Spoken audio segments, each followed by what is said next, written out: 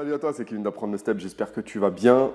La lassitude des coachs sportifs. Pourquoi je fais une vidéo là-dessus? J'avais fait une vidéo d'abord sur les avantages d'être coach, les, inconvénients d'être coach sportif. J'avais parlé un petit peu de la lassitude. La lassitude, dans le, pas dans le mauvais sens forcément. Il y a aussi un il y a beau côté des choses quand on se lasse des choses et je vais t'expliquer ça dans cette vidéo. Donc si tu es futur coach sportif ou tu es actuellement coach sportif, tu vas comprendre ce que je vais dire dans cette vidéo. Ça te concerne. Donc je pense que tu devrais écouter cette vidéo parce que ça t'évitera de faire quelques erreurs que moi-même j'ai fait en fait. Donc euh, quand j'étais au CREPS, en formation, même avant au test de sélection, j'étais animé. J'étais animé, j'en pouvais plus, j'avais trop hâte d'être coach parce que ça me changeait de la vie un peu pourrie que j'avais avant, euh, des études que, qui ne m'intéressaient pas, euh, je ne me voyais pas, je ne me, je me projetais pas dans, dans, par exemple dans l'industrie, parce que c'est un truc dans l'industrie que je faisais je ne me voyais pas faire ça à 21 ans. Là, j'ai 10 ans de plus, j'ai du recul sur toute ma carrière euh, pour l'instant euh, de coach sportif. Et je peux te dire que j'ai fait quelques erreurs quand même, parce que les premières années, on est animé, on est, on est là, yes Je me lève, j'étais là, yes Trop bien, je me lève du lit, j'ai la patate.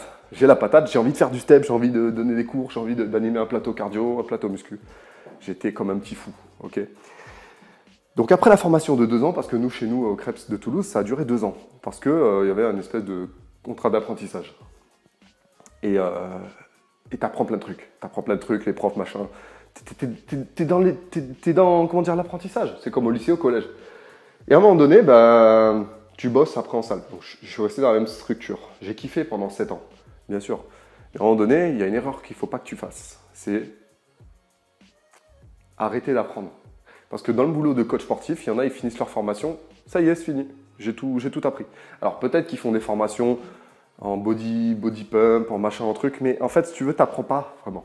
Là où tu dois apprendre quand tu es coach sportif encore, c'est sur les placements, sur la respiration, donc l'anatomie. Tu peux apprendre aussi en faisant plein de coaching. Tu apprends des gens, tu, apprends à mieux communiquer, tu apprends même une langue étrangère pour communiquer aussi. C'est de cette façon-là, en fait, que tu vas éviter de te lasser du métier apprendre d'autres choses aussi en musculation. Je sais qu'il n'y a pas tous les centres de formation de France qui sont super calés en muscu. Je vois beaucoup, beaucoup, beaucoup de, coachs sportifs, ils connaissent pas forcément grand-chose en musculation. Et si toi, la musculation, ça t'intéresse, continue de te former en musculation. ok? Moi, c'est ce que, pendant des années, j'ai atteint un certain niveau en step, j'ai atteint un certain niveau en renfort, en, pilates, j'en sais rien, en, souplesse même, en communication avec les gens et je toujours les mêmes blagues. Et, ça devenait une routine en fait. Tu vois ce que je veux dire? T'arrives, ouais, salut Et tu sors la, même blague du lundi en fait, du, du sable fessier de 11h à midi. Et c'est pas ça qu'on veut. Nous, ce qu'on veut, c'est continuer de progresser, continuer de varier les choses, continuer de. Voilà, de, de, s'émanciper, on va dire. Tu, vois ce que je veux dire? Donc voilà. Et en step, c'est la même chose. Euh, T'as envie de progresser en step, quand t'es coach, ben vas-y, tes adhérents, ils seront plus que ravis. Peut-être que tu en perdras certains, mais toi, tu vas pas te perdre en tout cas. Il y en a, ils vont. Parce que tu vas être animé d'une nouveauté, tu vas, tu vas donner plus d'énergie, tu vas être là, yes, la bombe, vas-y Donc apprends le cross-phrasing, fais des steps avancés. Pour ces steps débutants, essaye de varier les choses. Fais, fais, fais, mets le step comme ça, essaye de changer de place dans la salle. Essaye toujours de varier, déjà, et d'apprendre. Ça, c'est vraiment le conseil du jour pour éviter la lassitude. Parce que la lassitude, moi, j'en ai beaucoup. Euh, et je, continue d'en avoir parce que dans la vie, c'est comme ça. C'est comme ça. Tu es obligé à un moment donné d'avoir une monotonie sur, sur, les choses. Mais la monotonie, elle peut être négative ou positive. par exemple, si tu as une rigueur à l'entraînement de la musculation, tu continues de faire toujours euh, les, mêmes, euh, les mêmes charges, tu régresses. Mais si tu augmentes les charges chaque semaine, c'est toujours la même monotonie si tu veux. Mais tu progresses. Donc il y a des façons de faire les choses. Évite la lassitude. Tes futurs coachs sportifs, ne reste pas dans le Les Mills, ne reste pas dans le. C'est quoi le truc de Orange Bleu là? Euh, Jaco, reste pas dans le Jaco, euh, pardon. reste pas là-dedans. Si tu as envie de progresser, évolue. Tu fais que des cours de pilates et que des cours freestyle, arrête si ça te saoule. Change et continue d'apprendre. Tu as des bouquins, tu as des vidéos sur YouTube, tu as des formations. Tu peux aussi avoir des formations sur le terrain. Il en existe un petit peu partout dans la ville de France. Évite ça, d'accord? Apprends tout le temps. Et d'ailleurs, c'est valable pour tous les métiers. Cette vidéo, elle est J'aurais pu l'appeler euh, Comment éviter de te lasser quand tu es ouvrier chez Airbus. C'est la même chose en fait. Tu vois le truc? Donc voilà, quand tu es coach, en plus, tu as, une infinité de possibilités. Tu peux travailler euh, dans un club de rugby, tu peux autant euh, travailler chez un kiné, tu peux autant avoir 10 coachings aux États-Unis en train de faire des body attacks. Tu as autant de possibilités qu'il en faut, et même avec Internet, c'est encore mieux. Donc voilà pour cette vidéo, j'espère que tu as bien kiffé. Moi, quels sont mes projets?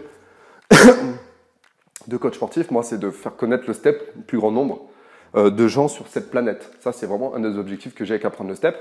Et après, avec mon autre chaîne YouTube, Qu'est-ce Coaching, je vais peut-être plus me diversifier.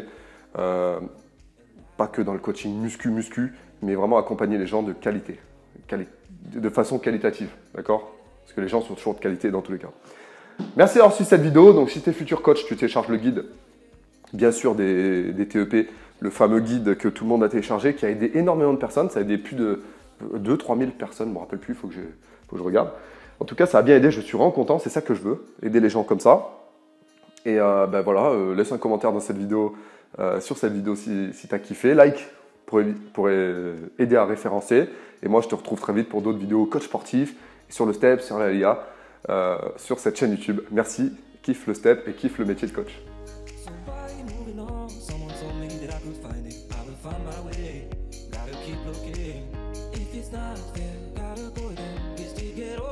I look aside, she's always by my side. She guides me with a sign, and I need.